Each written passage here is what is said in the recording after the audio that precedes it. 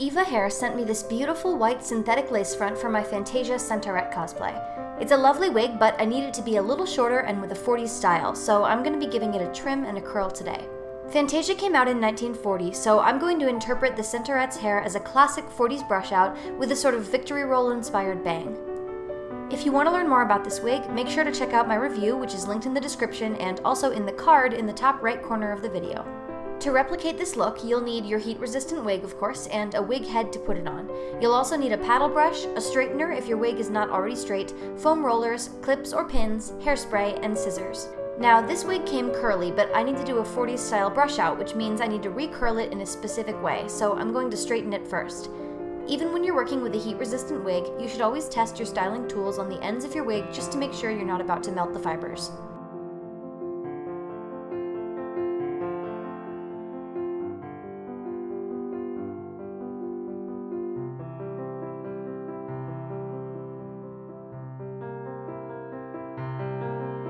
In the artwork, the Centaurette's hair falls a few inches longer than her shoulders, which is already longer than was typical in the 40s, so if it comes out a little shorter than that after I curl it, that's fine by me.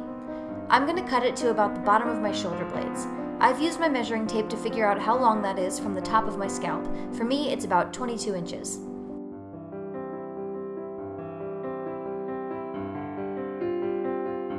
To thin the ends, I'm just going to cut little bits at a time at an angle and do this throughout all the hair.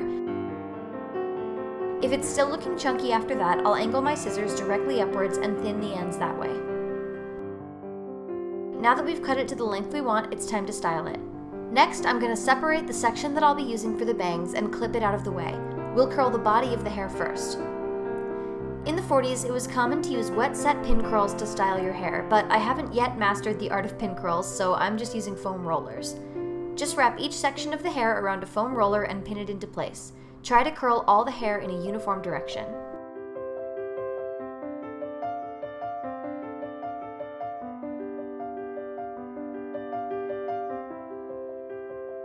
For the bangs, I'm curling them all to one side so that I can create a sort of side-parted victory roll look. Now, to set these curls, we'll be dousing the whole wig in boiling water. This is a good way to get some really solid curls in both heat-resistant and non-heat resistant synthetic wigs. Just put your whole wig head into a sink or bathtub, boil some water, and pour it over top. Then you'll want to leave it to fully dry. Once the wig is completely dry, it's time to take out the rollers.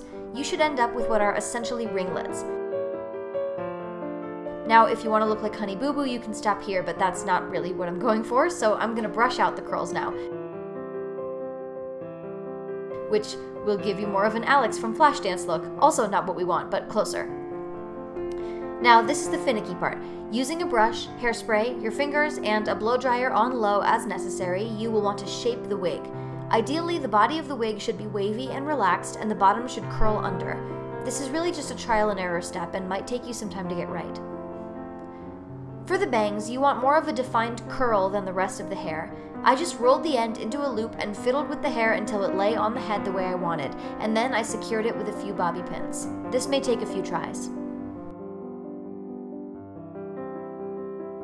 And here's the finished look, complete with a flower crown. Hope you enjoyed this walkthrough, and remember that if you want this beautiful wig for yourself, it is currently on sale for around $30 off at evahair.com, so make sure to check them out. I will put all of their links into the description.